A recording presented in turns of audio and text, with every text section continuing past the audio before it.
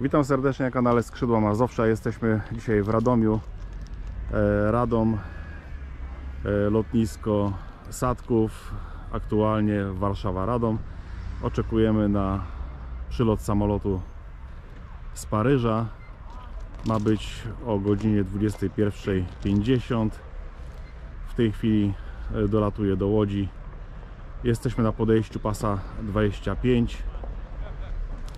No nie spodziewałem się, że tyle osób tutaj przyjedzie. Pełno samochodów. No ale każdy chyba się nie spodziewał, że będzie tyle osób. Każdy liczył na to, że będzie sam. No i przeszliśmy na drugą stronę. Jesteśmy po prawej stronie podejścia pasa 2.5. Cały czas dojeżdżają nowi spotersi, nowi widzowie, którzy chcą zobaczyć pierwsze lądowanie pasażerskiego samolotu z pasażerami e, w Radomiu.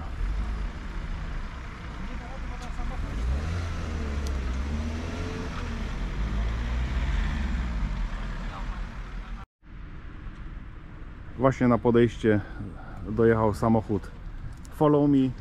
Służba lotniskowa dba o bezpieczeństwo.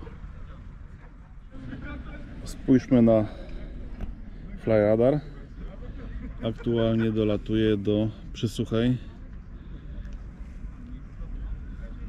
Także już nie zostało mu dużo. Wiatr jest zachodni, czyli powinien lecieć w tej chwili z wiatrem, a później będzie podchodził do lądowania od strony zwolenia. Samolot leci z kierunku Tomaszowa Mazowieckiego. Właśnie jest nad, nad Radomiem. Ma światła do lądowania załączone. Nie wiem, czy będzie widać. Przeleci nad lotniskiem i później zawinie w rejonie zwolenia i będzie podchodził już od prostej do pasa 2.5.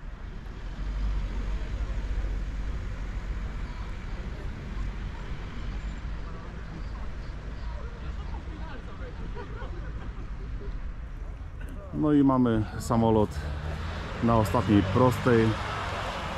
Do pasa 2.5 jest 27 kwietnia 2023 roku. Samolot leci z Paryża do Radomia Warszawa Radom.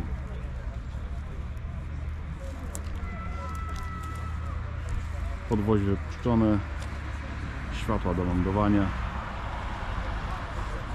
i ostatnia prosta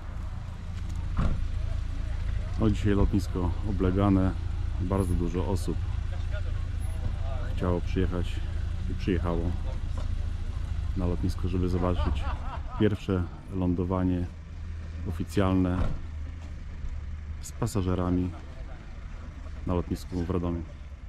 Już widać światła stroboskopowe na końcówkach skrzydeł.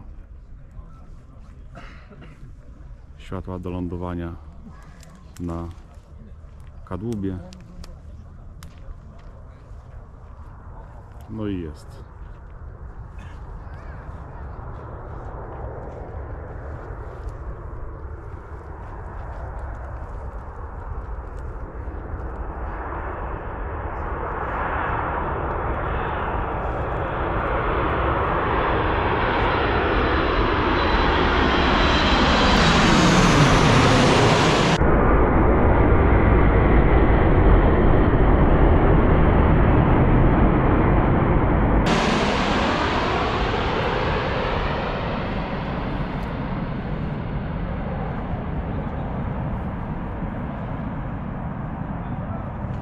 Delikatnie usiadł. Aplauz publiczności. Bezpiecznie na lotnisku.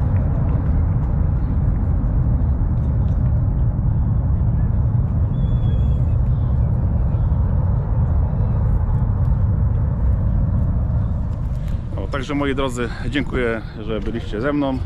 Zapraszam do kolejnych filmów. No i do spotkania. Cześć.